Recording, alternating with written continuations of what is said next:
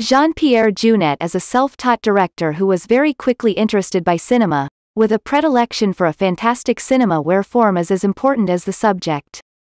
Thus he started directing TV commercials and video clips, such as Julien Clerc in 1984.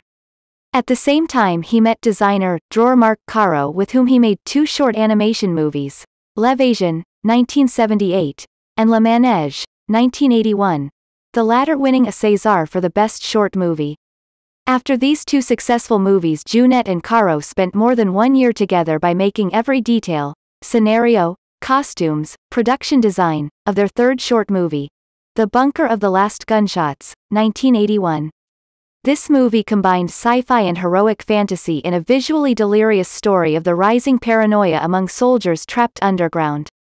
With that movie they garnered several festival prizes in France. This movie also marked their first collaboration with Gilles Adrien who later wrote the story of their two feature movies with them. After that Jeunet directed two other short movies without the help of Caro. Pas de repos pour Billy Bracco, 1984. Then Things I Like, Things I Don't Like, 1989. Where we could already see Dominique Pinon who will be another regular collaborator of Jeunet. All Jeunet's short movies won a lot of awards in France but also overseas and he won a second César with Things I Like. Things I Don't Like, 1989. In 1991, Jeunet and Caro took their first steps in a feature movie, Delicatessen, 1991.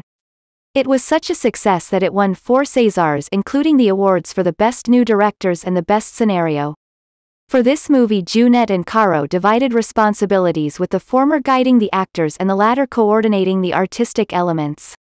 And Jeunet showed again his liking to have Dominique Pinon, of course, but also Rufus, Jean-Claude Dreyfus and Ticky Holgado who will appear again in Jeunet's next movies, or Maurice Lamy who already had a little role in Things I Like, Things I Don't Like, 1989.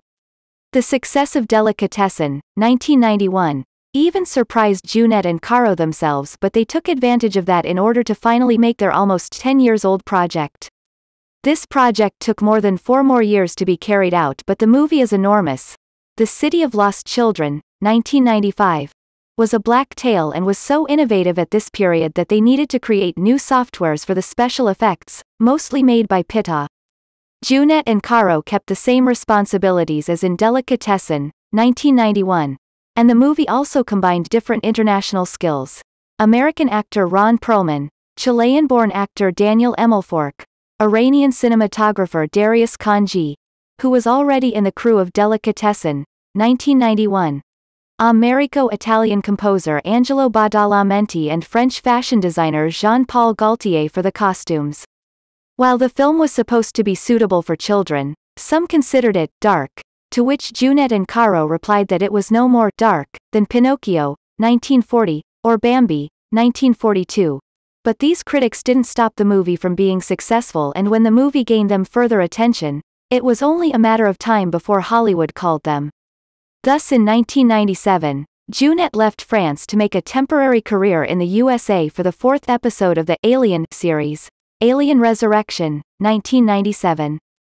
Marc Caro followed him just as a design supervisor but Jeunet brought with him a little army, of his usual collaborators, mostly French, actors Dominique Pinon and Ron Perlman, but also Pita, Darius Khondji or editor Hervé Schneid, and for the first time Alain Carsoux who later will be responsible of the special effects of Jeunet's next film. In 2000, after two collaborations with Caro and one with the Americans, Jeunet came back to France in order to make a more personal movie, even if Guillaume Laurent wrote the story with him. Thus he used a lot of different details he wrote everywhere during his life, and also recycled things he'd already done, e.g. in Things I Like, Things I Don't Like, 1989, and shot his story mostly in the Parisian suburb of Montmartre where he lives. Then the result was Amélie, 2001, starring Audrey Tautou and Mathieu Kassovitz. With this movie Jeunet made the biggest worldwide success of French cinema history, a Real Magical Potion, which won innumerable awards in the whole world including four Césars. Therefore Jeunet won his fifth and sixth Césars. Jeunet eventually decided to adapt Sébastien Japrisot's book A Very Long Engagement, 2004, for which he called Audrey Tautou and Dominique Pinon again, but also many other famous French actors and Jodie Foster. It had been one of the most important budgets in French film history and eventually had a good international success and many nominations and awards.